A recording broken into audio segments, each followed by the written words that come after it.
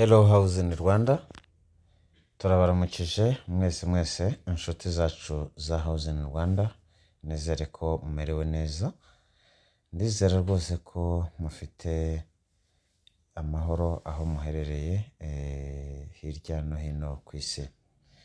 Banyarwanda ah, inshuti z'u Rwanda rwose hano muri House in Rwanda natwe turi aho kandi tumeze neza. Kandi duhora tubifuriza ibyiza ibyiza byinshi kandi bitandukanye. Ibyiza bya bintu byiza biba bitariho ibibazo biba bidaherekejwe n'ibibazo ni byo tubifuriza. Bya bintu bya bizinesi ya bizinesi nziza ya bizinesi isobanutse n'ibyo House in Rwanda ibifuriza. Inshuti zacu rero za in Rwanda. Tukaba rero tubaramukije kandi rwose eh, dukomeza kubabwira ngo twebwe hano muri in Rwanda turi kumwe kandi tuzakomeza gukorana namwe uko muzabishaka. Inshuti zacu rero ubushize ngira ngo nari nabashije kubereka iyi nzu ikiri shansiye none ubu ngubu murabona ko hari gukorwa uturimo twa nyuma twa nyuma kuri ya nzu nababwiraga inzu irimo inzu ebyiri hariya Kibagabaga inzu ebyiri. Izi nzu ebyiri ukaba ushobora kuguramo imwe cyangwa ukaba wayigura yose ibyo ni uburenganzira bwawe rwose birashoboka nta kibazo gihari. Ubwo rero inshuti zacu nkaba nashatse nyine kubereka aho ino nzu igeze murabona ko ibintu biri kujya mu buryo. Mbabwira ngo rero ntimucikwe n'iyi nzu murabona ko imirimo ya nyuma irimo irangira arimo mu masuku.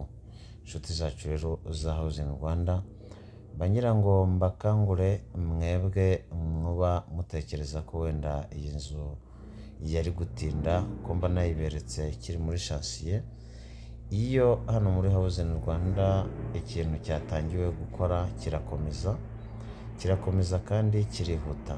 Inshuti zacu rero ubu nkaba mbabwira ngo nkaba mbabwira ngo nimukomeze rwose murebe uko iyi nzu mwayigura wowe ukeneye iyi nzu rwose nturangare nturangare iyi nzu itagucika kubera ko urabona yarangiye. Mbibutse ko iyi nzu aha naho gutereka indabo nk'uko muri kubibona aha uterekaho indabo hanyuma ukava mu byumba cyangwa ukajya mu byumba eh, uzinyuraho. Biba ari byiza cyane kereka muri ya nzongera mbereke mm, yadekowe bizaba biryoshye cyane. Urabona ko rero inzu yarangiye. Ku nshuti zacu iyi nzu niba uyikeneye. Rwose igihande kimwe gifite inzu imwe ifite ibyumba bitatu ikagira igikoni ikagira tuwarete eh, eshatu ikagira amarembo yayo. Buri nzu imwe ikaba ifite viyu ureba mu bandi bantu inzugi murazibona ah, inzugi zisobanutse. Rwose ubwo rero wowe ukeneye iyi nzu ntigucike ntigucike ubu rero iyi nzu iyi nzu ingana gutya ikaba ishaka igihande kimwe miliyoni ijana na mirongo ine. Ubwo rero nimutebuke kandi mugerageze iyi nzu ntibacike. Inshuti zacu banyarwanda banyarwandakazi mwebwe muri muri za diaspora cyane cyane muba mutari hano rwose ndababwira ngo nimureke tugire icyo dukora. Mureke tugire icyo dukora rwose ndabona ko twatangiye umwaka w'ibihumbi bibiri makumyabiri na gatatu utangirane umwaka inzu nk'iyi rwose uzaba umeze neza utangire urya ku mafaranga y'ubukode nawe wumve ukuntu ibintu birushaho kugenda neza. Inshuti zacu rero za in Rwanda ngaho rwose nimukomeze murebe iyi videwo y'inzu hanyuma muduhamagare kuri telefoni zeru karindwi umunani umunani mirongo itandatu n'icyenda itanu gatandatu zeru rimwe cyangwa mutwandikire kuri imeri francois narishyize arobasi gmail doti komu maze ibintu birushaho kugenda neza.